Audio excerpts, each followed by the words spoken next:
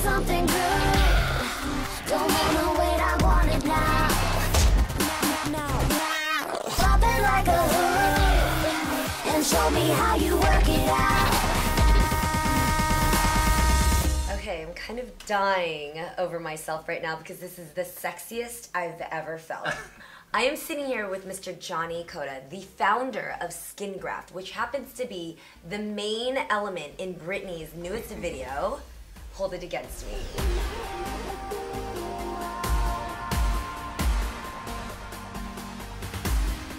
I said I want your body now. Would you hold it against me? When you got the call, tell like, walk us through. Because I, I feel excited for you knowing that you worked with her, but what was that like? Were you sitting at home, you got the call, how did it go? Well, I mean, it, a lot of it, I, so much credit goes to B. Åkerlund, you know, uh, Jonas Åkerlund's wife, who was the stylist who's she's done Gaga and so many people. And so she contacted us. And, Okay. and we've worked with her for the Black Eyed Peas. And so she's like, I think this is the perfect video. We want to push it. We want to make it more rock and roll, more edgy. So, I mean, you have America's pop icon, but at the same time, she has that edge we know could be skin graft. What are you thinking? So, the second you go, okay, I have to develop some looks for Britney, tell me how that goes through your mind. Well, at first I was kind of catering maybe too much towards Britney, and, Okay. and B said, "No, I, I, I came to you for a reason. You know, I uh-huh. want I want the skin graft element." So we got to play with that, and she gave us some great starting points. You know, like a graffiti leather bodysuit, and we did you know this kind of different shapes that we could play with, and we came up with all these different sketches, and we said, "Let's go as far as we can, and then let's get pulled back instead of you know so like let's make it freaky, let's make it high fashion, let's make it atypical of Britney, and then let's let them edit it back so it fits Britney right."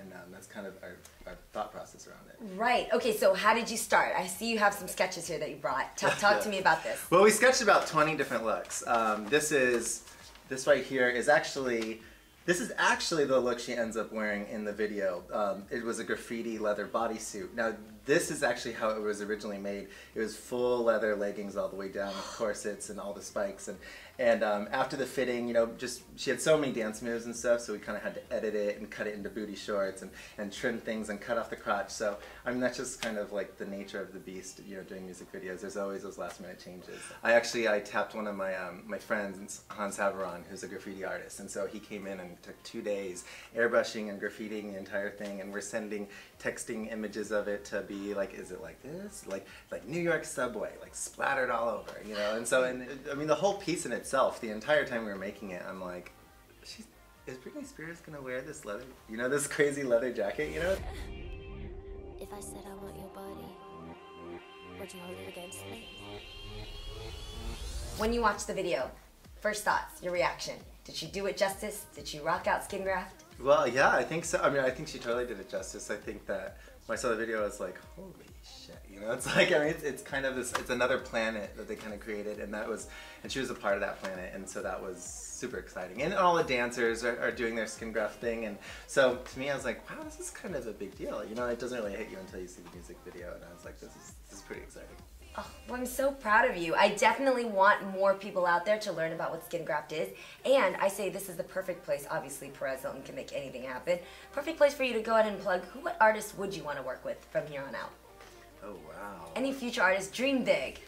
Dream Um, artist. Dream artist. I mean, I think Bjork. I've always since, since I was a kid, Bjork. Please bring Bjork back. I know, right?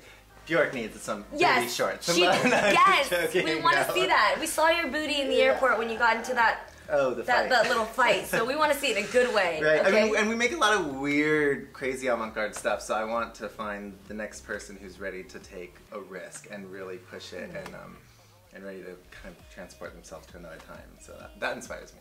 All right. So somebody in the caliber of Bjork or anybody else who thinks you can handle skin graft, absolutely reach out to Jonny. Now, Jonny, how can somebody get in touch with you?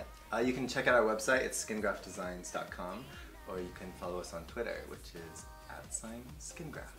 At sign skin graft. And Jonny, just because you are so freaking fantastically adorable, are you single? I am not single. Darn! I was trying to help you guys out there. I'm sorry. Love you guys. Mwah. Stay sexy.